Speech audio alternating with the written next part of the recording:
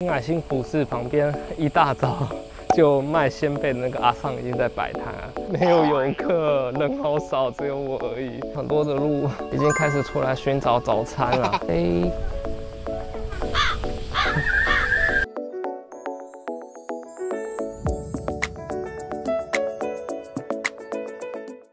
大家好，我是马志一。那么这一天来到奈良。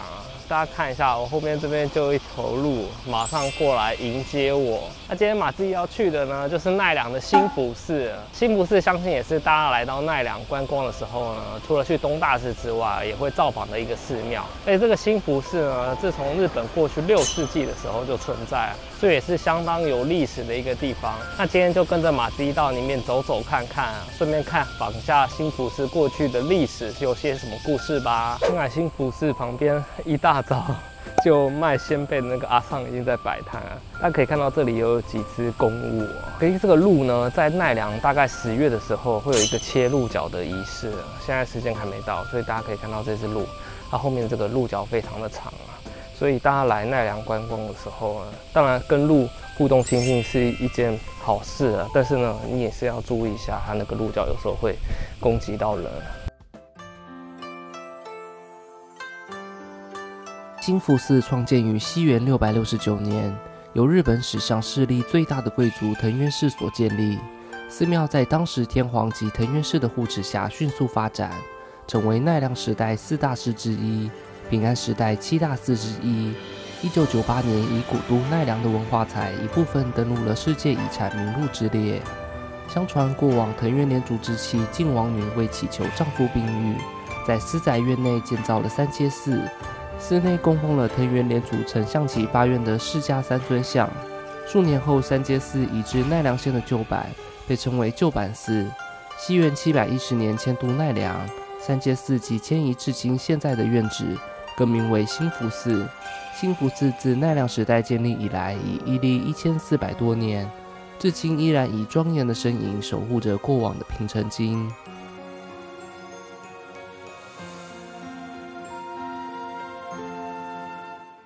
今天是平日，而且比较早的关系。现在新福寺这里呢，没有游客，人好少，只有我而已。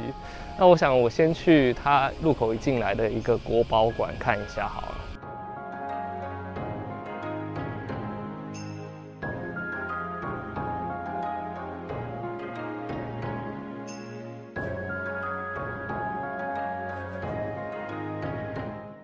我已经逛完出来了。哇，里面的国宝，我觉得比东大寺的还要更加的精彩，尤其是它中间有一个十三世纪镰仓时代当时的千手观音像，如果到现场的话，真的一定要花个钱啊，稍微进去看一下，那个在你面前你看到那种感觉是非常震撼的。刚忘记说，如果你要进去那个国宝馆的话，他一个人的门票，大人是七百块，但是他有卖这个通用的票啊，总共是九百块。你可以看这个国宝馆之外呢，你也可以参观马自己现在背后的这个东京堂，这里是他们的一个劝进所，这里可以写注印，还有卖一些土产。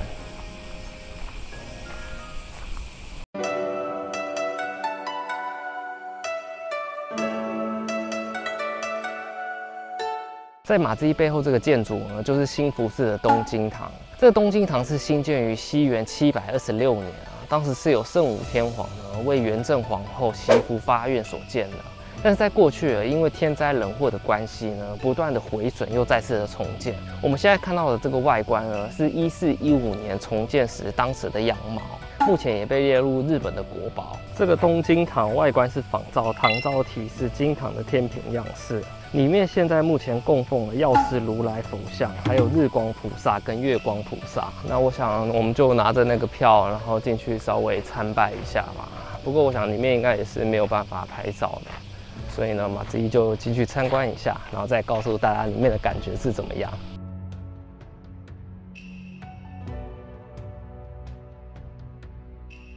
里面的药师如来啊，还有其他的一些佛像，就有点像是小型版东大寺的那个大佛殿。我们现在就来看另外一个新福寺著名的地标，就是马自一背后的这座五重塔。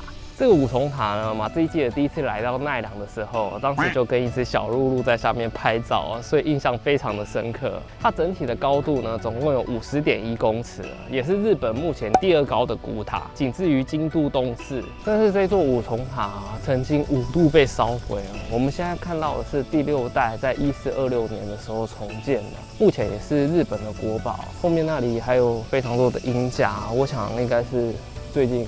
这个年久要定期的去维护它这个外观，所以稍微有一个修缮的公式。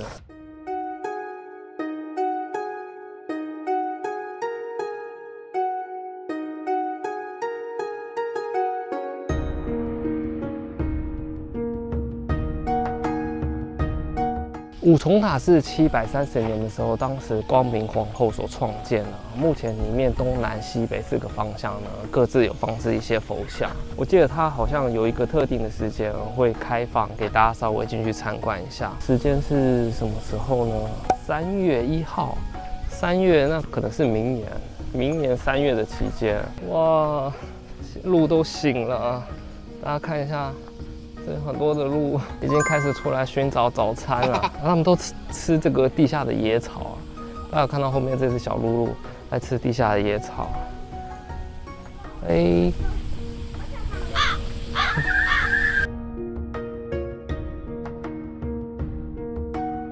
这一现在来到的这块空地呢，过去就是新福寺的南大门。这南大门呢，跟东大寺的南大门还有朱雀门是一样的，就是过去这里有一个非常大的门竖立在这。大家可以看到下面这边有一块一块的，这个叫做楚石啊，这就是当时这个门复原前呢，它最原始的一个地基。所以我们也可以根据这个。处置的大小，然后去推断出说这个过去它的南大门大小大概是怎么样的感觉。在南大门后面这栋建筑物呢，就是整个新福寺最重要的伽蓝中心哦，叫做中金堂。但这个中金堂啊过去在一七一七年的时候，因为火灾而烧毁了。事隔三百年之后呢，我们现在所看到的是二零一八年时所建造出来的外观。目前里面有释迦如来的佛像，它整个外观呢也是承袭当时奈良时代一比一等比的规模跟样式。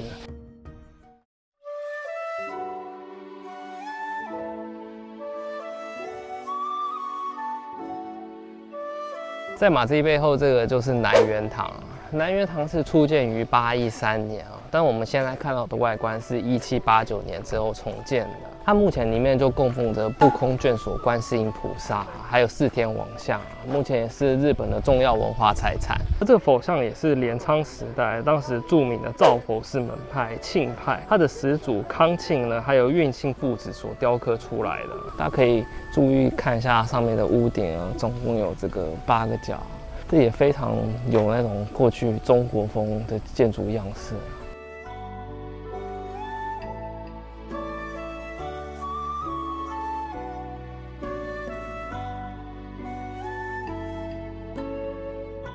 我自己发现这里有一个钟，我想这个就是他们当时除夕夜的时候啊会敲响的一个钟，就这样当，那整个奈良就会被这个新福寺还有东大寺的钟声回绕着。旁边有挂一些人写的会马，每次看到寺庙啊或者神社挂这些会马，我都会想去偷看别人写的愿望是写些什么。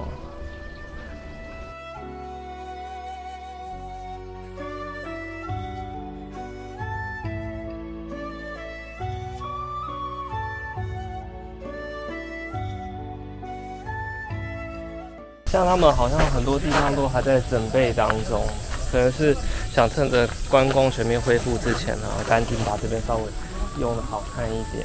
我就发现好像这里也禁止这种空拍机在这边拍。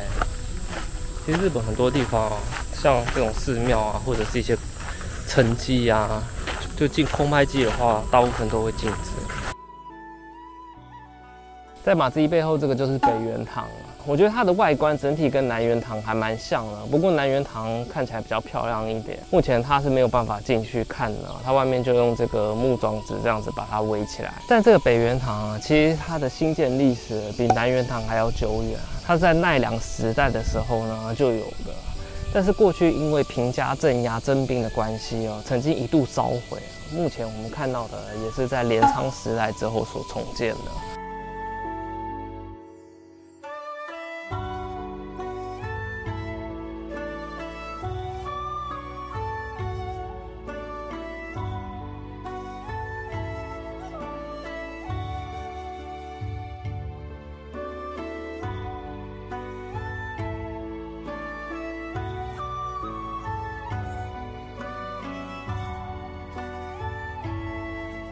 大家来新福寺呢，可能都只跟五重塔拍照，但大家不知道，其实，在北元堂后面还有一个三重塔。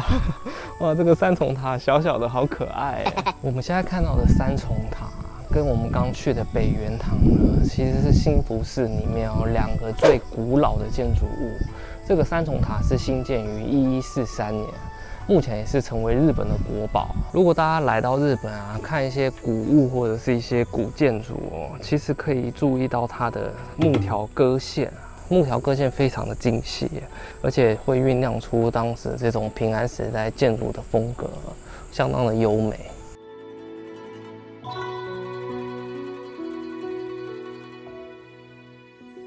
新福寺在过往不仅在宗教啊，还有政治的地位上，都是一个举足轻重的福寺。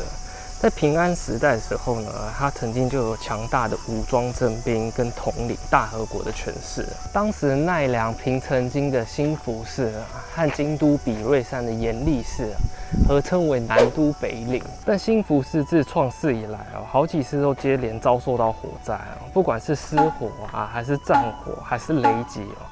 曾经烧毁多达七次，特别是一一八零年元平和战期间啊，当时平重衡他就率兵致死，发动了南都烧讨啊，所以市内很多的建筑物呢都受到了战火的波及，当时连东大寺里面部分的伽蓝也受到严重的毁损，所以今天我们看到奈良的新福寺，其实有很多的建筑物都是过往重建。过后，我们现在所看到的外观，哎呀，大家看这里有好多路啊，就在五重塔这个前面，因为这里是阴凉处，所以这个路也很聪明。现在外面大概三十度左右的高温，他们全部在这里乘凉。钢塔下面有一群人坐在那里，我以为他们是在那边乘凉，结果不是啊，他们是拿那个素描本啊，还有一些签字笔在那边画。这个后面这个五重塔整个外观，哇，真的好厉害哦！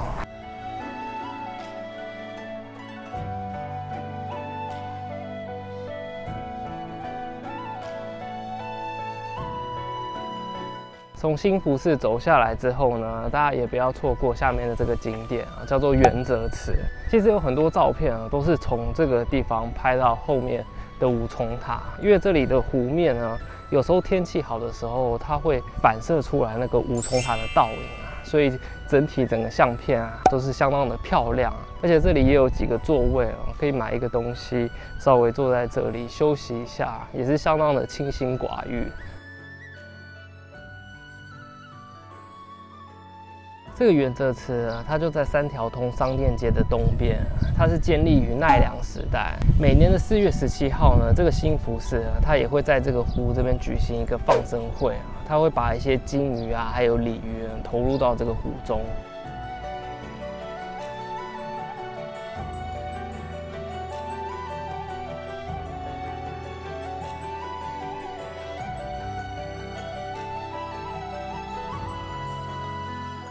这个就是才女神社，非常小一间。它其实说是神社，感觉嗯比较像一个象征性的，就树立在这个地方。